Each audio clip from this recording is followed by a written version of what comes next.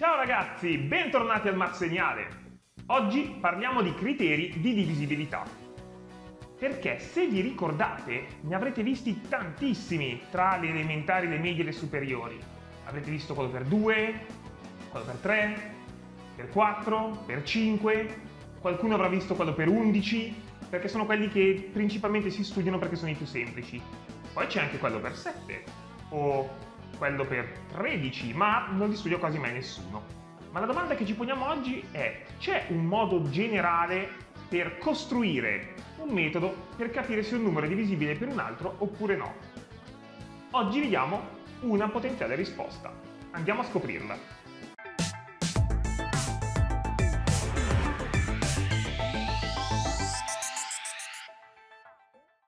Prima di iniziare, un'osservazione. Non è che questo sia il metodo in assoluto per poter controllare la divisibilità di un numero per un altro. È uno dei metodi, ma è molto carino secondo noi. Ne avevamo già trattato un altro in questo video in cui abbiamo parlato di un metodo inventato da uno studente di prima liceo. Il metodo che presentiamo oggi è tratto e ispirato da un articolo di Tania Kovanova sul suo blog che trovate in descrizione. Su cosa si basa? Su dei grafi. Ad esempio, questo che vedete in immagine è il grafo della divisibilità per 7. Ora, prima di svelarvi come si costruisce questo grafo, vi spieghiamo come si utilizza. L'idea è questa. Avete dei puntini di cui uno è colorato in modo differente. Quello sarà il nostro puntino iniziale. Poi avete delle linee che collegano i vari puntini che possono essere di due colori, verdi o blu. Immaginiamo di voler vedere la divisibilità di 1468 per 7.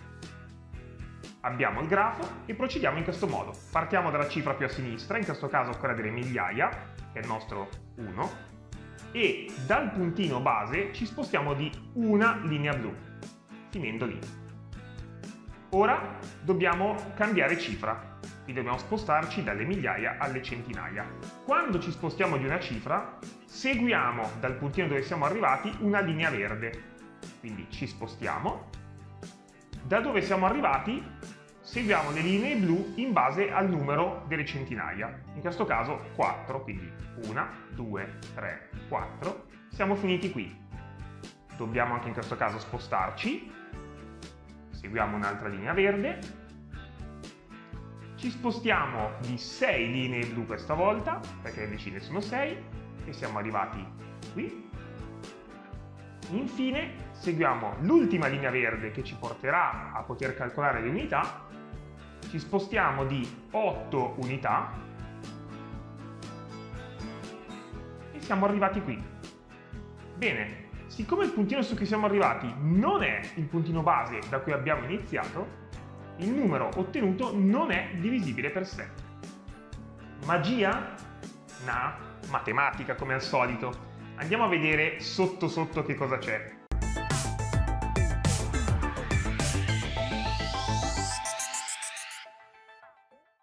Per svelarvi come viene costruito il grafo, dobbiamo per prima cosa mostrarvi questi numeri.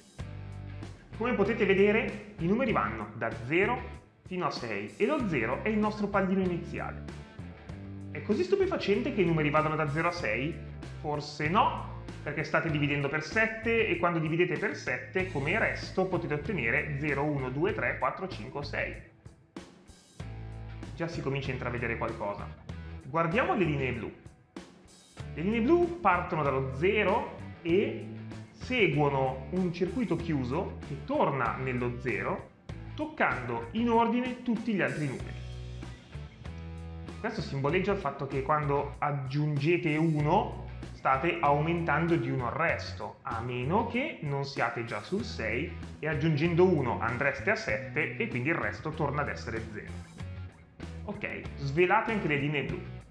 Le linee verdi, che sono meno evidenti, simboleggiano il resto quando andate a moltiplicare per 10 e dopo vediamo perché effettivamente la moltiplicazione per 10 è ciò che ci serve. Facciamo un esempio facile, ve ne spieghiamo giusto una. Se partite dallo 0 e moltiplicate per 10, chiaramente ottenete 0 e quindi lo 0, come vedete, ha un cappio che torna in se stesso. L'1 Beh, se lo moltiplico per 10 fa 10 e il resto di 10 diviso 7 è 3. Infatti la linea verde che esce dall'1 va a finire nel 3. Questo viene replicato per tutte le altre. Adesso che abbiamo visto come costruire il grafo, possiamo vedere perché funziona con il metodo che abbiamo applicato.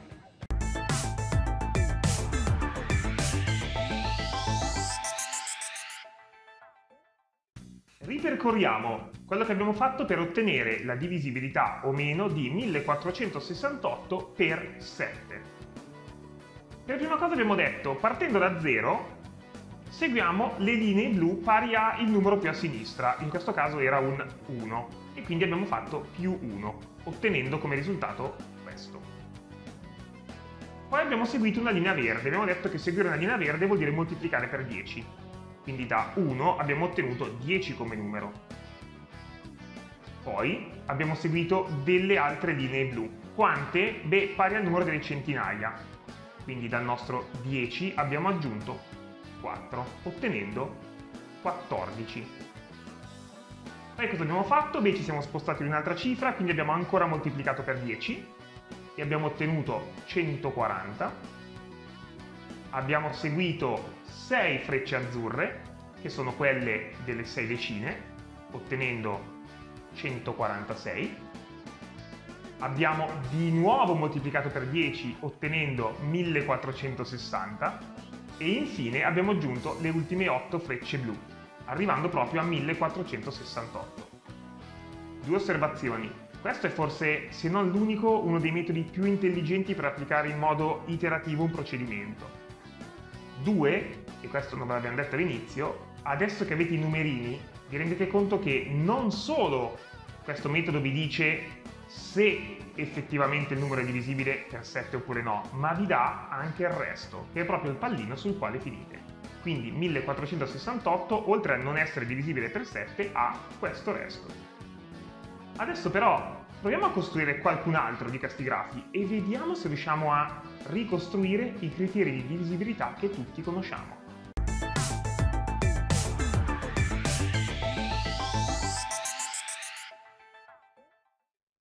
Partiamo dal criterio di divisibilità per 2. Il grafo sarà fatto con due vertici, perché il resto può essere solo o 0 o 1. Le linee blu saranno una linea che va dallo 0 all'1 e una che va dall'1 allo 0. Le linee verdi, beh, le costruiamo subito. Dobbiamo moltiplicare per 10 quel numero e guardare il resto nella divisione per 2. Quindi 0 per 10 fa 0 e quindi resta un cappio. 1 per 10 fa 10 che diviso per 2 dà resto 0 e quindi abbiamo una freccia verde che va dall'1 allo 0. Proviamo già ad applicarlo, ad esempio proviamo a vedere se 237 sia divisibile per 2 oppure no.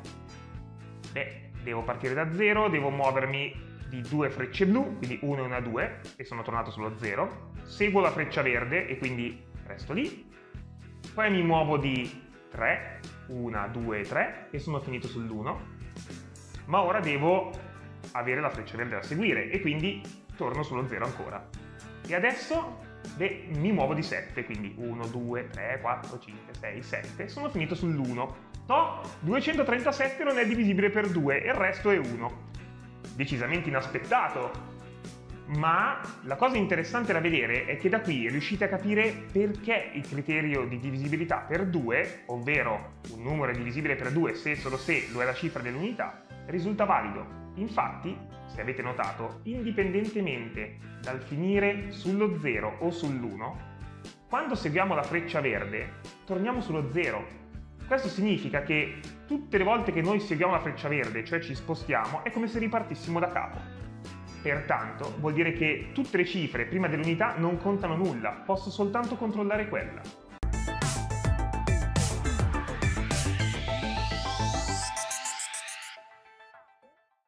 Proviamo a vedere adesso la divisibilità per 3.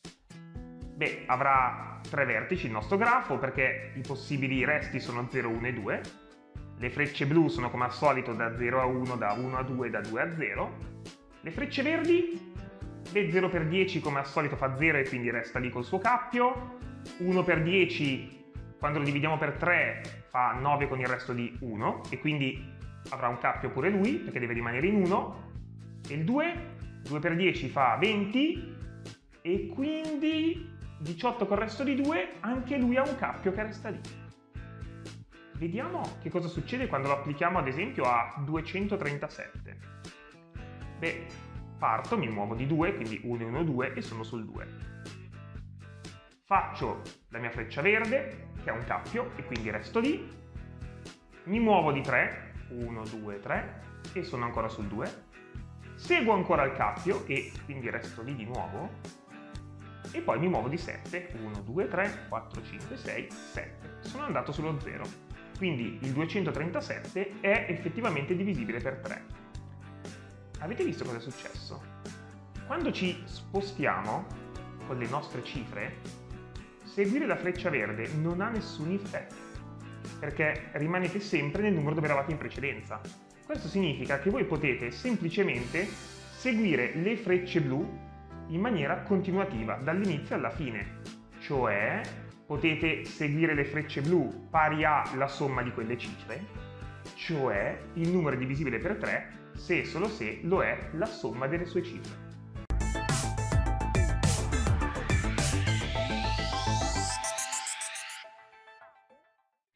Ovviamente potete scegliere il divisore che più vi piace. Potete scegliere il 5 o il 9 con cui si vedono abbastanza bene i criteri di divisibilità. Oppure il 7 o l'11 in cui sono un pochettino più nascosti, ma la cosa su cui vi vogliamo far ragionare è che il metodo è talmente versatile da poter essere esteso ad altre basi. Immaginiamo di avere un numero scritto in base 8 invece che in base 10 e di voler verificare la sua divisibilità per 5. Come sarà fatto il grafo della divisibilità per 5 in base 8 e questo era quello in base 10? Questo è quello in base 8. La struttura è decisamente diversa, che cosa cambia? Beh, cambiano innanzitutto le frecce verdi. Perché?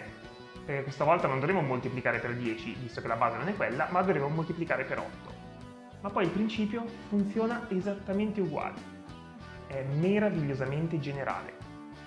E come regalo vi lasciamo in descrizione un bellissimo programmino che vi genera in automatico il grafo della divisibilità che volete. Prima di lasciarci vi lanciamo anche una piccola sfida. Questi grafi, se usati opportunamente, quindi cambiando magari i colori, magari colorandoli all'interno o spostando le frecce, possono diventare delle bellissime opere d'arte. Mandatecene qualcuna, o su Instagram o su Facebook. Provvederemo a pubblicare quelle che secondo noi saranno le più meritevoli, ma siamo sicuri che saranno tutte meravigliose. Anche per oggi se il video vi è piaciuto mettete un bel like e se non l'avete ancora fatto iscrivetevi al Max Segnale e attivate le notifiche, così non vi perdete i prossimi video. Ciao ragazzi!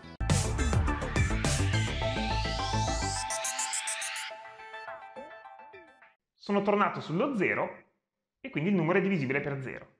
No! È divisibile per 0. Te la devo rifare.